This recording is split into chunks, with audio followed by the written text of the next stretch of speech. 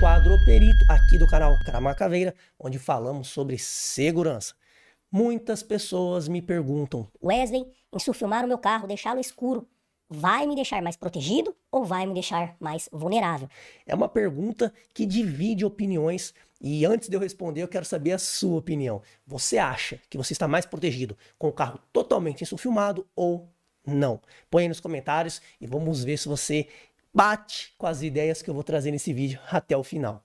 O filme ele é uma faca de dois gumes. Para crimes de oportunidade, onde a vítima está muitas vezes distraída, o insufilme escuro ajuda bastante. Imagina que você tem o mau hábito de andar na, no, no, trânsito, aí para lá no semáforo, pum, pega o celular, começa a mandar uma mensagem, mexe muito no som, ah, passa lá a sua maquiagem, e você é totalmente distraído, carrega objetos ali dentro, carrega uma bolsa, um notebook, você não adota hábitos muito seguros no seu dia a dia.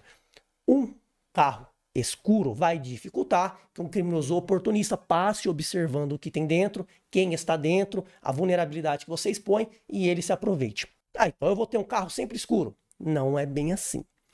Você tem que entender que para crimes mais planejados, o insufilme é negativo.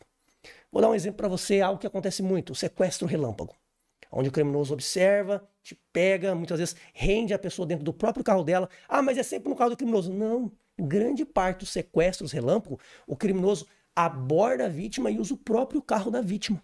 Então, não há uma regra muito clara, é sempre o carro do criminoso, é sempre o carro da vítima, tá?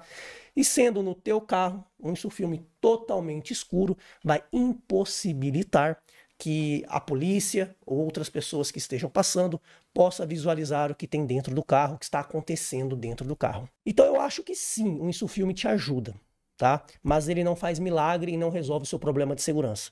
Lembre-se, antecipar o problema e prevenir é a chave da segurança. É a chave do sucesso de um plano de segurança bem elaborado.